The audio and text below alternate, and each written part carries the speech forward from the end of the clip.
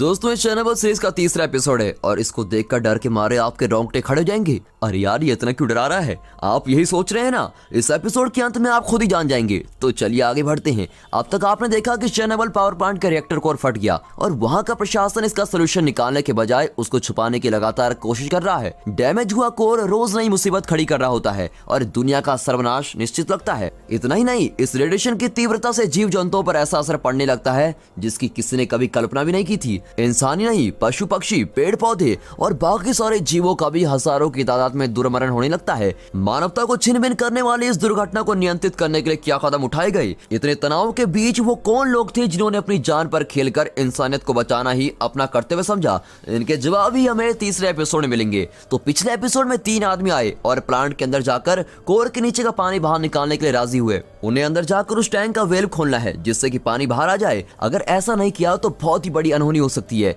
ये तीनों अपनी जान की परवाह किए बिना प्लांट के अंदर गए और कुछ ही देर में रेडिएशन से उनकी टॉर्च बुझ गई। लेकिन वेल्डी जानता था कि ऐसा होगा, इसलिए उसने इन्हें मैकेनिकल टॉर्च भी दिए थे, जिसका हैंडल घुमाने से टॉर्च जलने लगती है। इस तरह का सिस्टम आपने साइकिल के डायनेमो से चलने वाले बल्ब में देखा होगा। तो इस तरह की टॉर्च की मदद से वे आगे बढ़ते हैं। बाहर बोरिस वेल्डी से पूछता है की अंदर उन तीनों का क्या हाल होगा? वेल्डी बहुत ही सीरियस होकर बताता है की तीन दिन के अंदर वे बहुत ही बुरी मौत मरेंगे। उनका हाल तो आप देखने ही वाले हैं। अब बोरिस को और भी टेंशन होने लगती है। अंदर तीनों स्कोर के टैंक का वेल्व ढूंढकर उसको खोल देते हैं। अपना काम करके वे दरवाजे पर पीटते हैं और बाहर से दरवाज़ा खोल दिया जाता है, तब वहाँ खड़ी आर्मी की पूरी फोर्स तालियाँ बजाकर इनका सम्मान करती है। वेल्डी भी टेंशन में ताली बजा रहा होता है, क्योंकि वो जानता है कि ये लोग तीन दिन से ज़्यादा ज़िंदा नहीं रहेंगे। अब अगले शॉट में लीडिया को दिखाते हैं, जो अपने पति वेस्ली को ढूंढ रही होती है, और मॉस्को के हॉस्पिटल सिक्स में पहुँच चुकी है। वो अंदर जाना चाहती है, लेकिन उस हॉस्पिटल की इंचार्ज मना कर देती है। लीडिया उस औरत को रिश्वत देती है, और वो तुरंत एक विजिटर पास देकर कहती है, तुम किसी से बात मत करना, चुपचाप जाकर अपने पति को देखकर वापस आ जाओ, समझी? आपने क्या सोचा था कि रिश्वत का डिस्को डांस सिर्फ़ हमारे यहाँ होता है?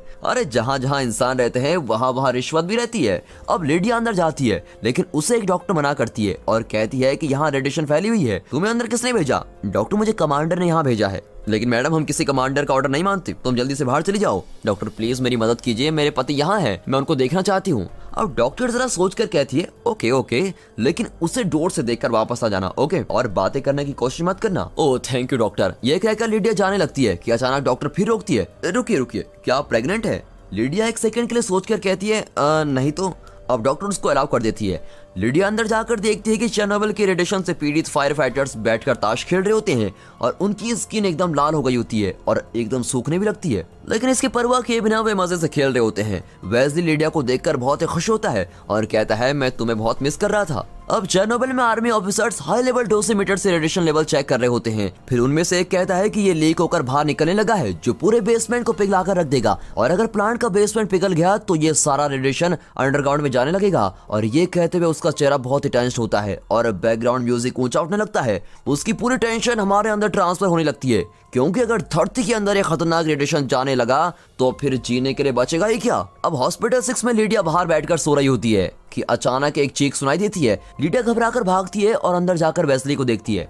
वेस्ली जो सुबह तक ठीक लग रहा था और लीडिया से बातें भी कर रहा था, अब उसके पूरे शरीर में उबाल आने लगता है। वेस्ली की हालत देखकर लीडिया चिल्लाने लगती है। तब डॉक्टर आकर लीडिया पर चिल्लाती है कि मैंने तुमसे मना किया था ना, यहाँ रेडिएशन है, समझी रेडिएशन फिर तुम्हारी भी यही हालत होगी, तुम इसी वक्त यहाँ से निकल जाओ। अब सेक्रेटरी जनरल गौरबचेव को दिखाते हैं, जो बहुत ही डिप्रेस्ड है। पूरी दुनिया विज्ञान और टेक्नोलॉजी में सोवियत संघ को श्रेष्ठ मानती है। और अब वही दुनिया रशिया की लापरवाही पर थूक रही थी। तब उसे बोरिस का कॉल आता है और वो इस नई मुसीबत के बारे में बताता है। कोर और धरती के बीच जो बेसमेंट है, वो पिघल रहा है। अगर बेसमेंट पूरी तरह से पिघल गया तो कोर और उसका रेडिएशन सीधे धरती के अंदर उतर जाएगा और ग्राउंड वाटर को कंटामिनेट कर देगा। इस पानी के भरोसे इस देश में 80 मिलियन लोग हैं, जो या तो पानी के बिना मर जाएँगे या फिर इस पानी को पीकर मर जाएँगे। अब ये सब सुनकर गौरबचाव पसीना पसीना होने लगता है। तब वेल्डी सुझाव देता है कि कोर और धरती के बीच में हम एक हीट एक्सटेंशन फिट कर सकते हैं, जिससे कि अगर कोर और बेसमेंट पिघल भी गया तो रेडिएशन धरती के अंदर नहीं जाएगा। लेकिन उसके लिए हमें इस देश के हर कोने से जितना लिक्विड नाइट्रोजन ला सके यहाँ लाना होगा। और अगर उससे ज़्यादा की ज़रूरत हो तो बाहर से मंगवाइए। गौरवचव कहता है, जो चाहे, जहाँ से चाहे ले लो, लेकिन इस समस्या को सुलझाओ। तब वेल्डी फ़ोन छीन कर कहता है कि समस्या को सुलझाने के लिए आप पहले अपने डेप्यूटी को ऑर्डर दीजिए कि घटना स्थल से 30 किलोमीटर की रेडियस तक कंटामिनेट जोन घोषित कर दिया जाए।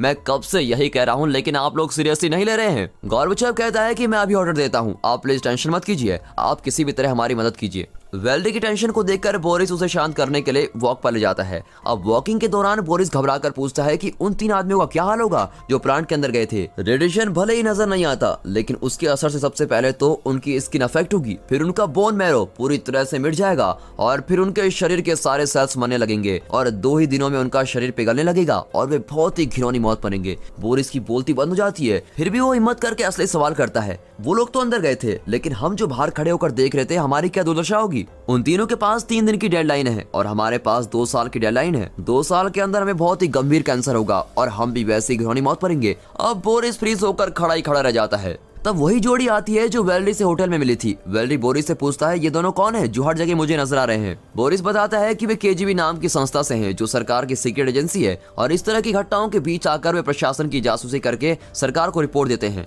अगर एक छोटी सी भी गलती हमसे हो गई तो उनकी एक रिपोर्ट से हम सबका करियर और ज़िंदगी मिट्टी में मिल सकती है। इतने पावरफुल लोग हैं ये। पहले तो वे छुप कर काम करते थे, लेकिन अब हमारे सामने ही हमारी जासूसी कर रहे हैं। तुम भी सावधान रहना। अब वेल्डी उलाना से मिलने जाता है और बताता है की ग्राउंड वाटर को रेडिएशन से बचाने के लिए वे हीट एक्सटेंशन का प्रयोग करने वाले हैं। उलाना को भी आइडिया ठीक लगता है और वो कहती है, ये सोल्यूशन अच्छा है। लेकिन मुझे ये जानना है कि रिएक्टर कोर कैसे फटा। नॉर्मली ऐसा तो नहीं होना चाहिए, लेकिन अब हो चुका है। इसकी सच्चाई तो हमें सिर्फ़ प्लांट के साइंटिस्ट और इंजीनियर बता सकते हैं, जो इस वक्त मॉस्को के हॉस्पिटल सिक्स में एडमिट है। तुम्हें मॉस्को जाकर उनका डिटेल इंटरव्यू लेना होगा। उलाना भी इस मिशन पर जाने को तैयार हो जाती है। अब जेनेवल के पास एक कोल माइन को दिखाते हैं, जहाँ माइनर्स काम कर रहे होते हैं। तब पूरी आर्मी प्रोडक्शन के साथ एक कार वहाँ आती है, जिसमें मिनिस्टर आते हैं। वो पूछता है कि माइन में इस वक्त कितने आदमी हैं? वर्कर का लीडर बताता है कि सौ वर्कर्स हैं। अब मिनिस्टर कहता है, तुम सब अपने सारे इक्विपमेंट्स लेकर उस गाड़ी में चढ़ जाओ। लेकिन सर, हमको इक्विपमेंट लेकर जाना कहाँ है? देखो, मुझसे सवाल मत करो। जो मैं कहता हूँ, वो करते जाओ, समझे? देखिए सर, आप इस तरह हमको धमका नहीं सकते। गन के साथ तीन चार आदमी क्या ले आए? आप अपने आप को डाउन समझने लगे?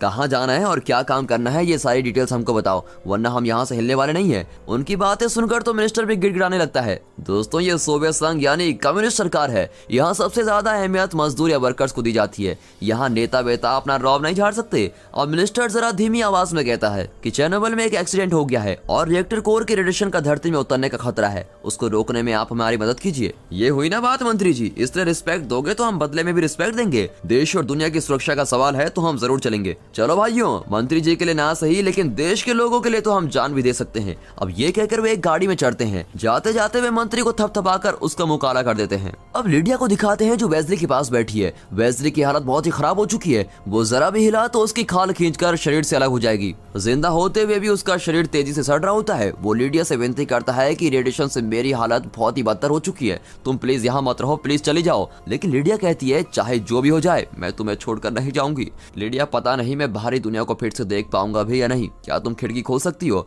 और खिड़की खोलते ही वेजली की आँख जलने लगती है और लिडिया उसे काला चश्मा पहनाती है। लिडिया, मुझे कुछ नहीं दिख रहा। तुम प्लीज़ मुझे बताओ कि बाहर क्या हो रहा है। लिडिया के करके उसे खबर दे रही होती है। उसकी आँखें भर आती हैं और उसे देखकर तो हम इमोशनल हो जाते हैं दोस्तों। फिर उलाना को दिखाते हैं जो चैनेबल ब्लास्ट की सच्चाई जानने के लिए इसी हॉस्पिटल सिक्स में आई है। सबसे पहले वो सीनियर साइंटिस्ट डेथ से मिलने जाती है, जिसके सारे बाल झड़ चुके हैं और उसकी हालत बहुत ही बुरी हो चुकी होती है। वो कुछ भी कहने से मना कर देता है। इस दुर्घटना का कारण इसी आदमी की लापरवाही थी।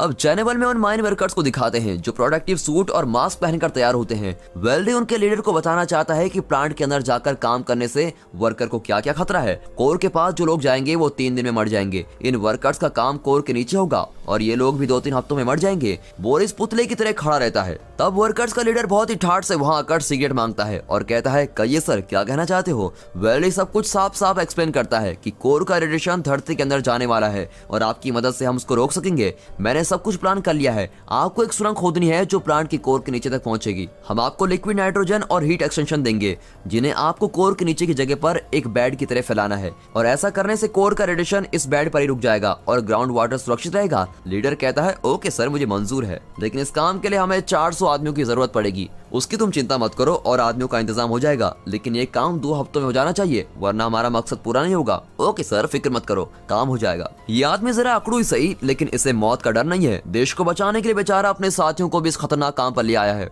अब एकदम टॉप एंगल पर प्लांट को दिखाते हैं और नौ दिन हो चुके हैं और अब भी कोर उस तरह लगातार चल रहा है। फिर दिखाते हैं कि लगभग 500 माइन वर्कर्स सुरंग खोद रहे होते हैं और सुरंग के अंदर बाहर जा रहे हैं। तब वर्कर्स उनके लीडर को बताते हैं कि हमसे और नहीं होगा। सुरंग के अंदर का टेम्परेचर 50 डिग्री से ज़्यादा है और हमसे काम बिल्कुल नहीं हो पा रहा है। लीडर जरा सोचकर मिलिट्री जनरल के पास जाकर कहता है की अंदर तापमान बहुत ही ज़्यादा है, सर, और ऊपर से आपने इतना भारी मास्क पहनकर अंदर जाने को कहा है। और इसे पहनकर तो वर्कर सांस नहीं ले पा रहे हैं। आप किसी तरह फ़ैन या वेंटिलेशन का इंतज़ाम कीजिए। लेकिन जनरल कहता है फ़ैन नहीं लगेगा, क्योंकि उससे रेडिएशन से भरी मिट्टी और धूल बाहर निकलेगी। इतना ही नहीं फ़ैन के चलने से वहाँ की धूल मिट्टी आपके लंग्स में जा सकती है।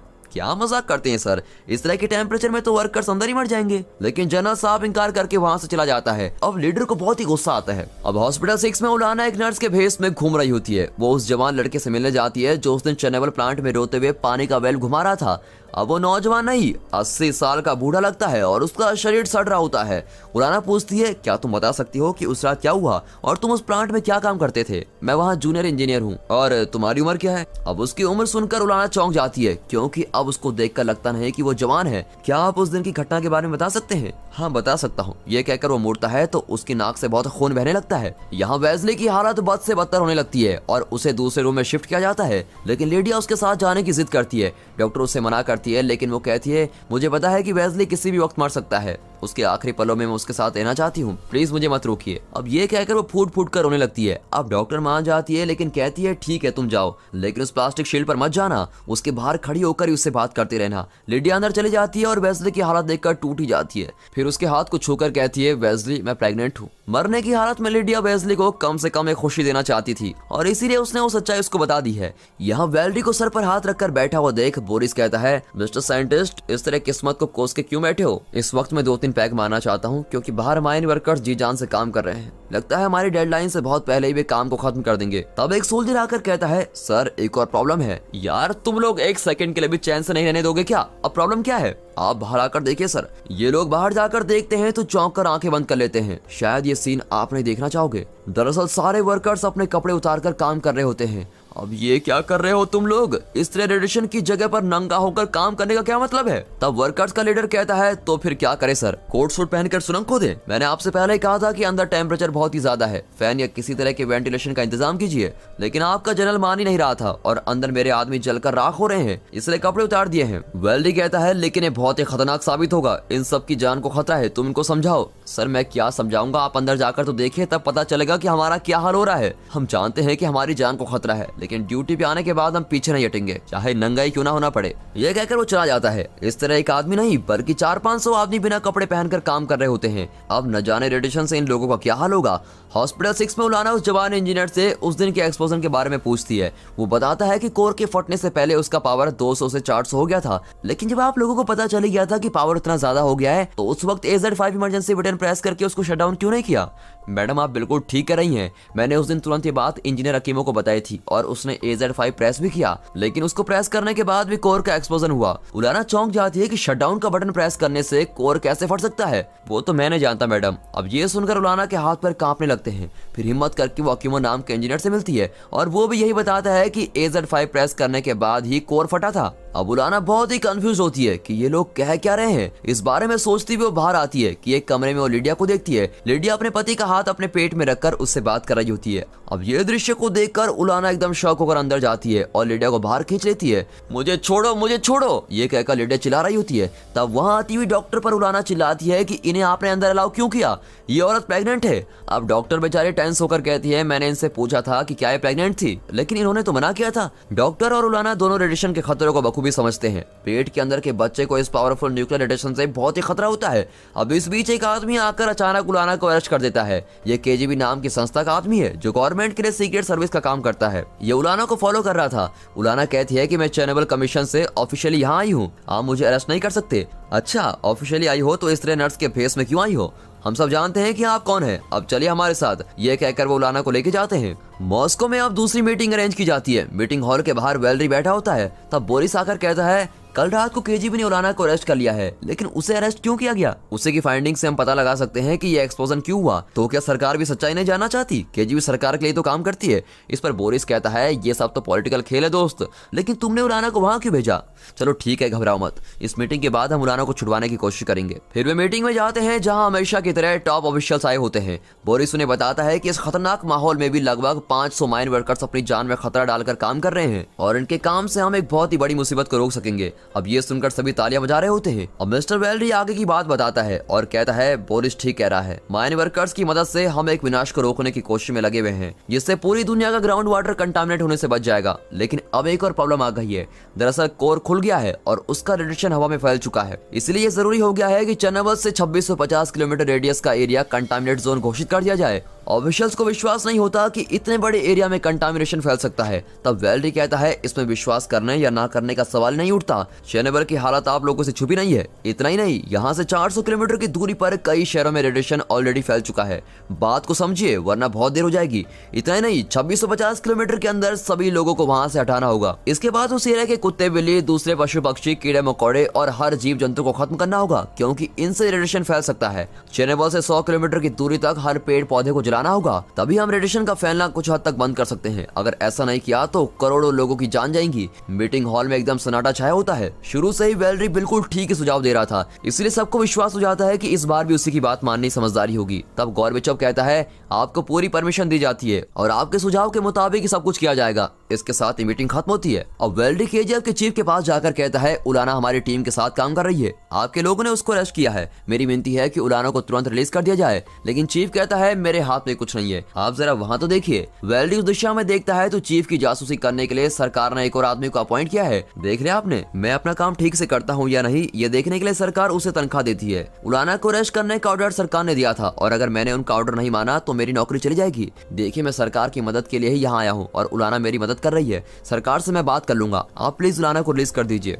ठीक है, मिस्टर बेलरी मैं अपनी टीम से डिस्कस करके आपको इस बारे में इन्फॉर्म करूँगा। अब ये कहकर वो चला जाता है। उस रात वेल्डी उलाना से मिलने जाता है तो उसे भी अंदर कर देते हैं। उलाना के रिलीज़ की फॉर्मेलिटीज चल रही होती है। तब वेल्डी उलाना को माइन वर्कर्स के काम के बारे में बताता है और पूछता है, तुम्हें क्या लगता है की इस तरह लिक्विड नाइट्रोजन और हीट एक्सटेंशन फैलने से रेडिएशन धरती के अंदर बिल्कुल नहीं जा पाएगा? सिर्फ़ फोर्टी चांसेस है की रेडिएशन धरती के अंदर जा सकता है। लेकिन इसके सिवा हमारे पास कोई और रास्ता नहीं है। हम सिर्फ़ भगवान से प्रार्थना कर सकते हैं की उस चालीस की नौबत कभी ना आए। यार, उलाना, मुझे तो फिफ्टी भी विश्वास नहीं है। अब इस तरह इन दोनों साइंटिस्ट की डिस्कशन चल रही होती है, क्योंकि ये लोग इस विषय में एक्सपर्ट्स हैं। तब उलाना बताती है कि मैं हॉस्पिटल में तीन चार इंजीनियर से मिल पाई। उनसे मुझे यही पता चला कि इमरजेंसी शटडाउन का button A Z five press करने के बाद ही कोल फटा। इस पर वैली भी चौंक जाता है, तब उन दोनों को रिलीज़ कर दिया जाता है। अब शनिवार के आसपास के शहरों को दिखाते हैं, जहाँ आर्मी आकर वहाँ के लोगों को आर्मी ज्वाइन करने का ऑफ़र देती है। वो इसलिए की देश में एक बहुत ही बड़ा ऑपरेशन होने वाला है, और उसके लिए सोल्जर्स की ज़रूरत है। इसके बारे में अगले एपिसोड में आप जान पाएँगे। सरकार का प्लान यह है की देश के हर नागरिक को चेक किया जाएगा, और पूरे देश की जनता को दो ग्रुप्स में बांटा जाएगा।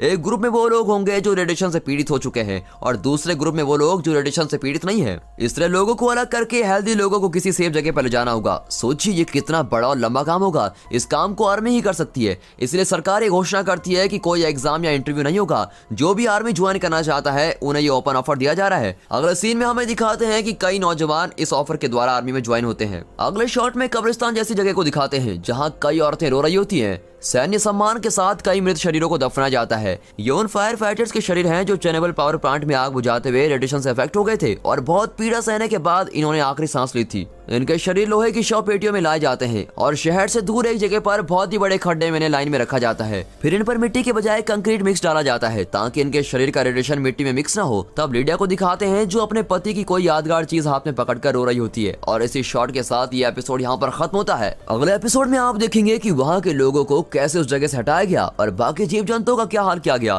क्या वे उस जलते हुए कोर को बुझा सके? ये तो अगले दो एपिसोड में ही पता चलेगा। तो आगे के एपिसोड भी ज़रूर देखिए और हमेशा की तरह इस वीडियो को एक लाइक और चैनल को सब्सक्राइब ज़रूर कीजिए। आपके कमेंट्स भी हमारे लिए बेहद ज़रूरी है। और हाँ साथ ही अपने फ्रेंड सर्कल में इस वीडियो को शेयर ज़रूर कीजिए क्योंकि एक बहुत इन्फॉर्मेटिव वीडियो है। And finally thanks for watching